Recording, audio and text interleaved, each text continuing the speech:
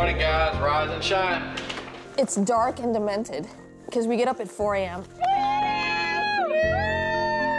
It's a great opportunity just for us to bond a little. Because we haven't bonded enough. I know. He can pick us up. Let's start walking. It's this way, right?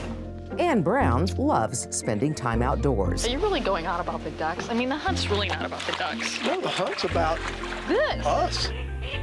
Whether it's bird watching or bird hunting, her passion is also her profession. Before we recruited Annie to come to the Parks and Wildlife Foundation, she was some kind of muckety muck with National Audubon. I forget her title, vice president of something or other. She probably made it up. So I started at the foundation in June, and the following June, we decided we were going to launch a $100 million campaign, because why not? And fast forward six years later, and we're working on the next phase of that campaign. She is the most successful conservation fundraiser that I've ever met. I've learned everything I know about fundraising from Annie Brown. She's just so innovative. And if she runs up against a brick wall, She finds another path. She took the foundation to an entirely new level. She actually helped the foundation become the wind beneath the wings of the department. I've never seen such a dedicated individual working toward a common goal and common mission. I think that's pretty unique.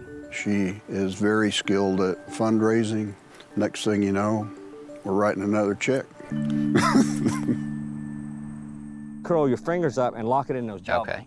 You see the fruits of all that in so many places, whether it's the build out of the training center for our game wardens or the acquisition and creative partnership to acquire the Powderhorn Ranch or helping to raise funds to help bring back pronghorn antelope to the desert grasslands. Oh, yeah. And at the end of the day, we're going to continue to see those fruits for generations to come. she tries to deliver value for the donor. And she's very good at making sure that you get a return for what you have given, and the return is not just for this generation, but for generations forward. Nothing is more gratifying than having all those partners come to the table and us all working together because at the end, it's Texas, our lands and our waters and our wildlife that benefit. We're here with your son today. What's it like to come out here to this project with your son? Um, I think especially on his birthday today. Oh, you're gonna make me cry. I can't do that.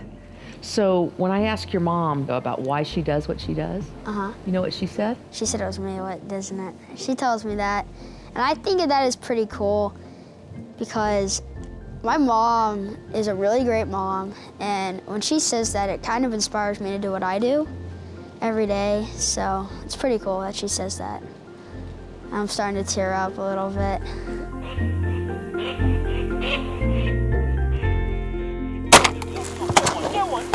I've been fortunate to have 20 years of amazing people and projects, and I hope the next 20 years we'll have more amazing people and projects that we can make a difference with.